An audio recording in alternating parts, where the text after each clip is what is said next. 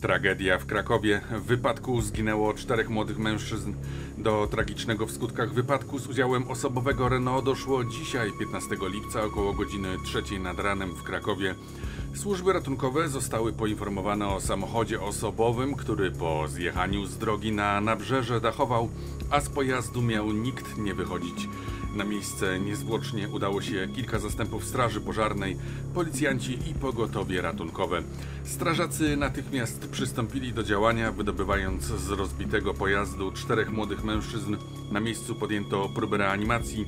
Jednak żadnego z poszkodowanych nie udało się uratować. Wstępnie policjanci mieli ustalić, że Renault Megane poruszał się w stronę mostu Dębnickiego, jednak jego kierowca z nieznanych przyczyn, być może hamował, ponieważ zauważył pieszego wchodzącego na jezdnię w niedozwolonym miejscu, utracił panowanie nad pojazdem, który po zjechaniu na nabrzeże dachował.